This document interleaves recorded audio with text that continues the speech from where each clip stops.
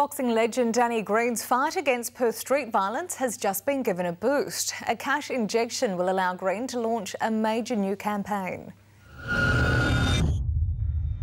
Take it from me, one punch can be lethal. He's Perth's boxing champion, fighting to stamp out alcohol-fuelled violence. One punch can end his life and ruin yours. The ballpark's changed and uh, the violence is just so prevalent and people just resort to violence straight away without thinking. Following the successful Stop the Cowards Punch campaign, the Green Machine is about to launch his second round of adverts, and he's been given $200,000 by the federal government to make it happen. We don't want to, you know, dance around the issue. It's serious. People are dying and people people's lives are being threatened for no reason, just for, for, either being drunk or high on drugs or being a you know being a scumbag. Sasha Tostovan was the victim of an alleged one-punch attack in Subiaco in May.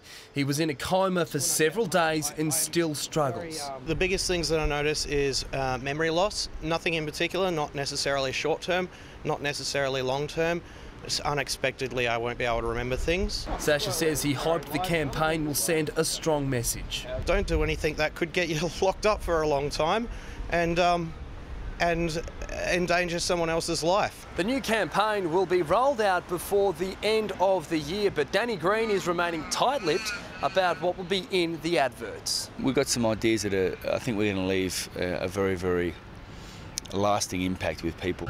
Ben Hennessy, 9 News.